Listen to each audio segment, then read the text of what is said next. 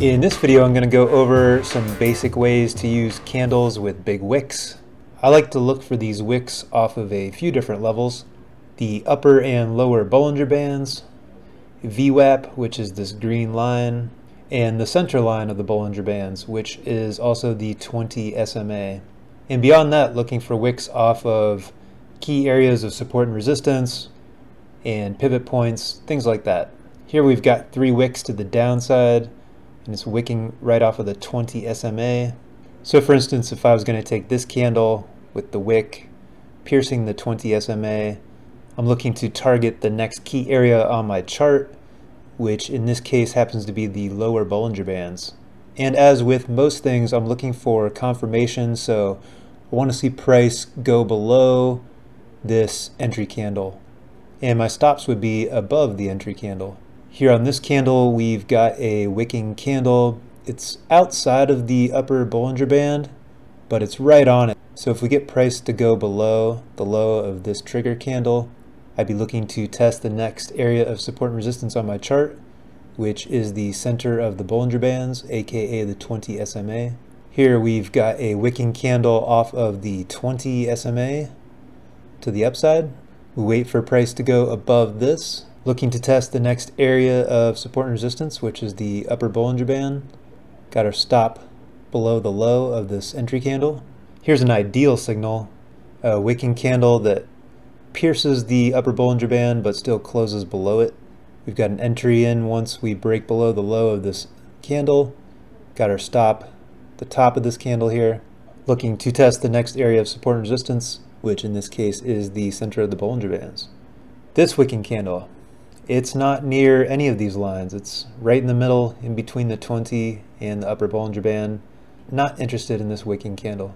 I did an entire video about wicks and how to detect them with Markers Plus, but if you don't have Markers Plus, Ninza has an indicator that I forgot I even had. I got this about seven years ago. Pinocchio Bar Pro. You can choose the range percentage, the pin bar multiplier, you can have it paint the color of the bar. You can have a background. You can have a pop-up enabled, sound alert enabled. All I've got is the marker, just these red and green arrows.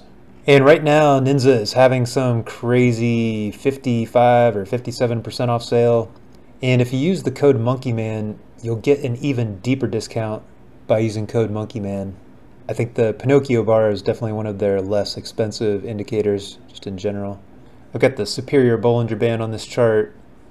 Prints the candle colors when it breaks out above the Bollinger Bands or below the Bollinger Bands. And my favorite trend indicator, the solar wind, that's printing the candles red and green. See, we didn't get any other signals. This is a one minute chart.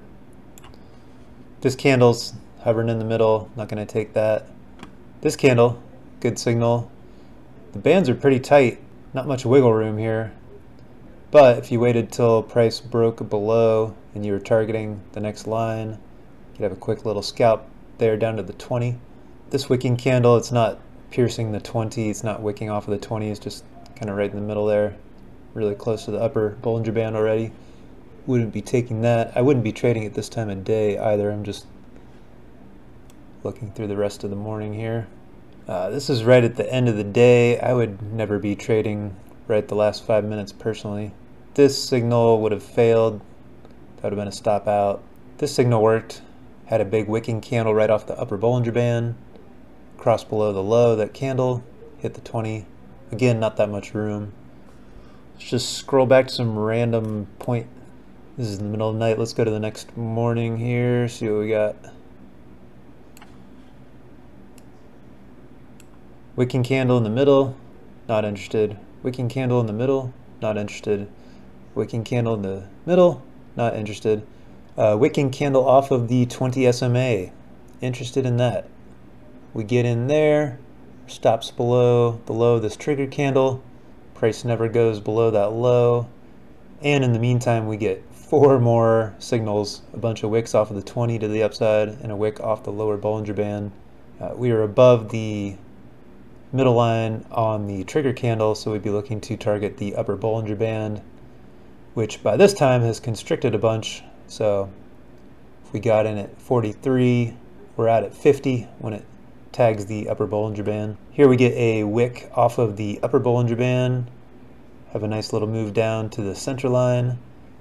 Here we get a wick off of the 20 SMA, nice move to the upper Bollinger Bands, never goes below the low of this trigger candle. So that's how I'm using the wicks.